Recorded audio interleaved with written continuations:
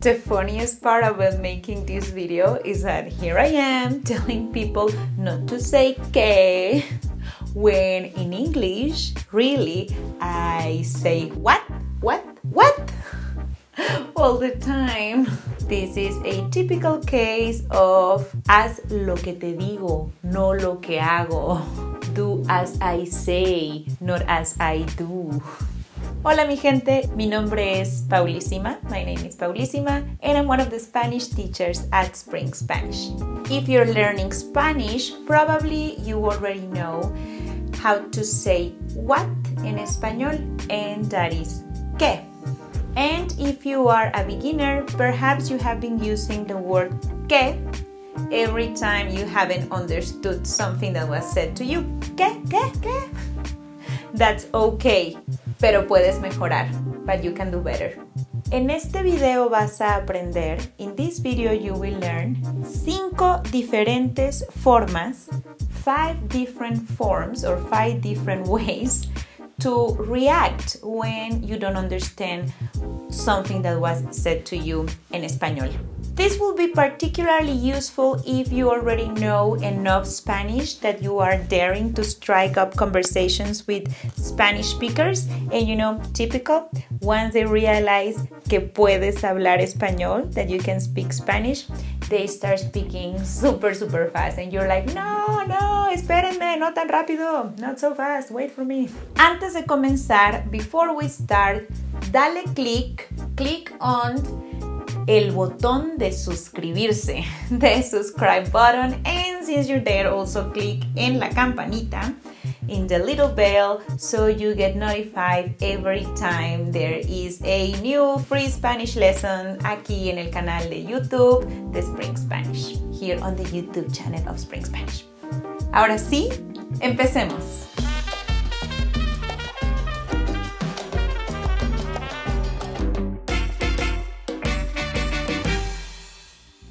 Número uno, perdón or disculpa. It's like pardon or excuse me, and it works better than que because it's more polite.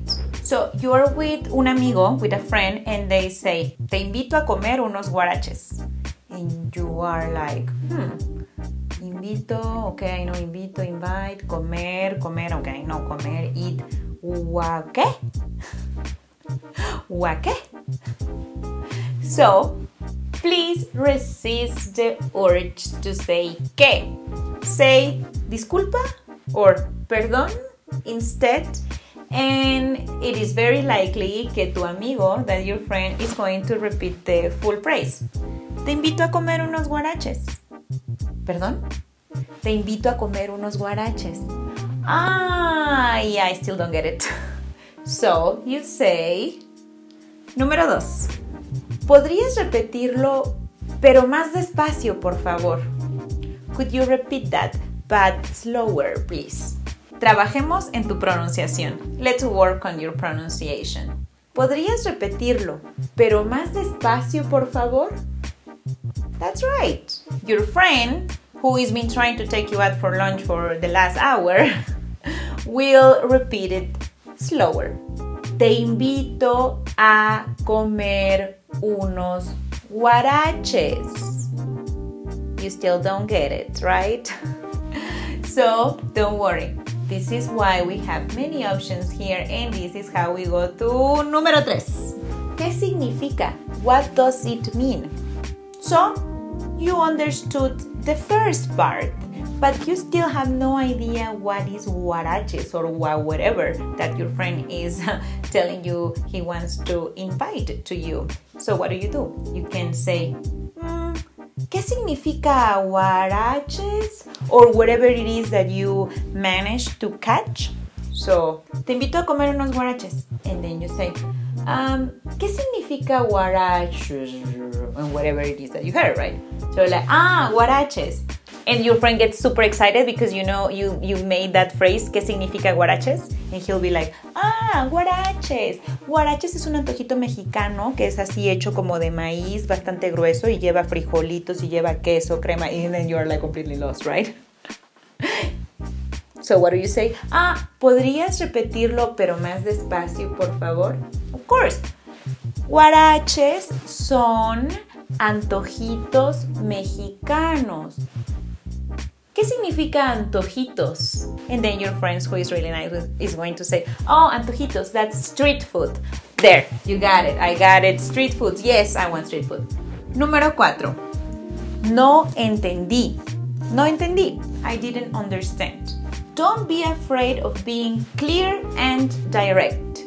This phrase is great because of its simplicity and you can make it even better by adding this part. No entendí la última parte, the last part. Or no entendí la parte de something. Same example. Te invito a comer unos guaraches. Ah, no entendí la parte de guara something. Or te invito a comer unos guaraches. No entendí la última parte. And then they will repeat the last part. Ah, te invito a comer unos guaraches. Then you see, you see, you, do you see where I'm going with this? Número 5. Una combinación de todo. A combination of all of the above.